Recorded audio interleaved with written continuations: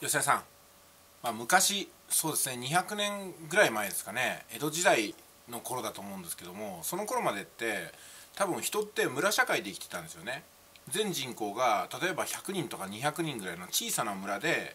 いくつかの家族が協力して過ごしていて基本的にその村から出ることがなかったんですよね。でたまに出稼ぎに行くためにその村を越えてね山を越えて峠を越えて向こうの町に行くよとかねあっちの山越えして、えー、なんか仕事場に行くよっていう時ってものすごい警戒したと思うんですよそれこそ山賊も出ただろうし盗賊も出ただろうし迷子にもなっただろうしいわゆる村を離れて山越えをしていくのはものすごくね道中危険だし、まあ一言で言ったら怪しいっていうねそういう言葉も生まれたんではないかなと思うんですよ。うん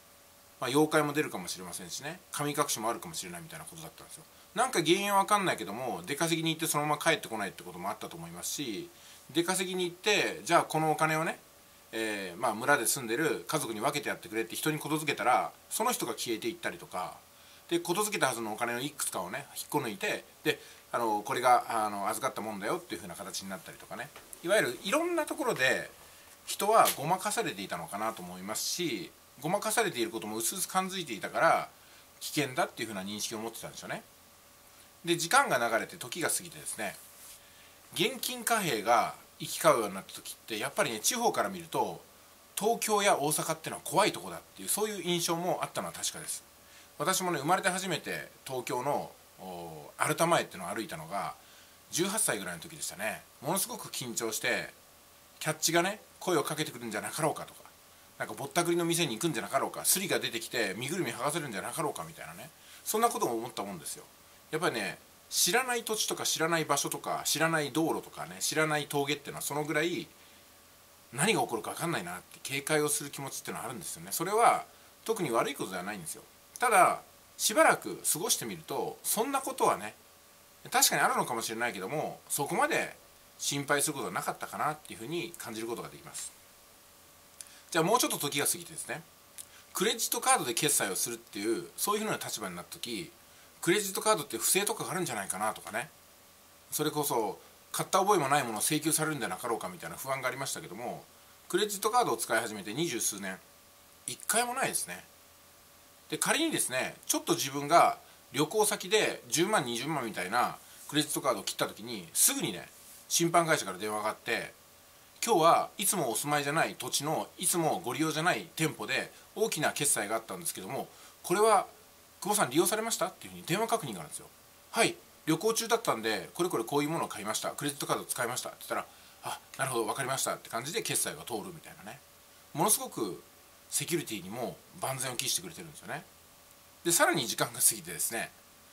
うん、今その仮想通貨みたいなねポイント決済とかがあったりとかするわけですよ。海外のドルで決済するクレジットのものとかね。でさらに時間が過ぎて暗号通貨の決済とかあるでしょ。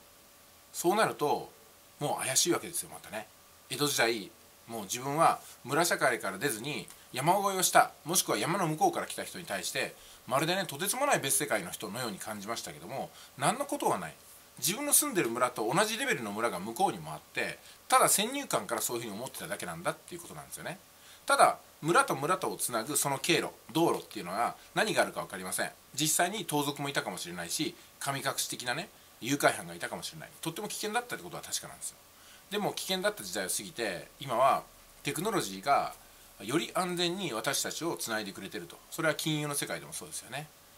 そういうことが分かってくると、うん、なんだ？人が介在しない自動決済の方が安全なんだ。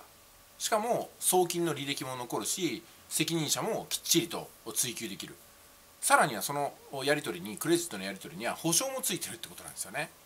確かクレジットカードで不正決済された場合それが弁償されるっていう制度もあったですよね。そういう保険が自動的にクレジットカードに入っているというふうに聞いたことがあります。なるほど、うん、なるほどと思いますよね、うん、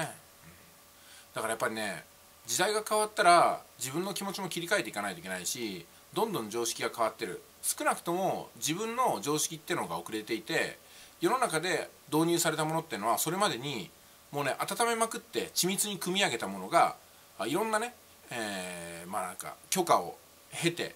出てきてるわけなんで実は自分の考えよりは安心で安全なんだろうなというふうに感じることができますよね。で LINE がね FX これねずいぶん前からやってるんですよ。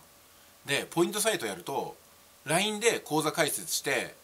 えー、必要金額入れるとね最低金額入れると、まあ、報酬が5000とか1万ともらえるんですよね。いや私思うにね FX の世界っていうのは相当に儲かるんですよ。なぜなら多くの人がお金を失ってるからなんですよ。そこそれこそですね100万人ぐらいの人が参加して多分ね99万人はお金を失う方なんですよ。1%ぐらいの人が、うん、お金を得てそして取引に関わってない方が口座開設をさせたりとか手数料収入を得たりとかそういったので儲かってるのかなと思いますよね。だから実際に FX やって儲けるぞって発想はとっても危険であくまでもリスクエッジとしては口座開設をさせることを本業にして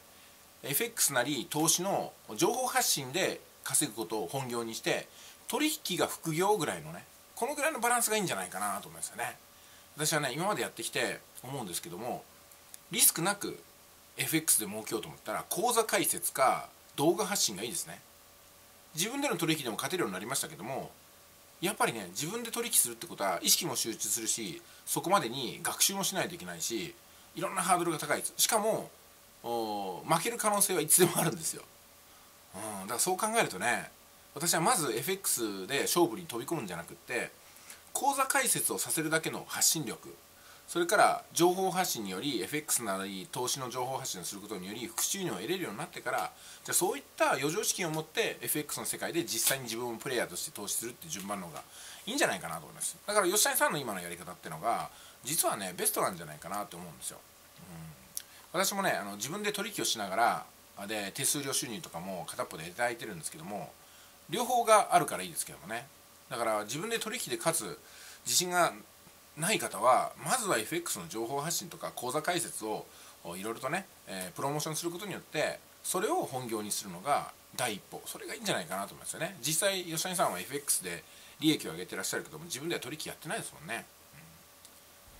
うん、はい。まああとはねプレイヤーじゃない方から商品を買うということに抵抗があるかないかっていうところでまあいくつか考える点があるかなっていうところですね、うん、まあいってらっしゃい。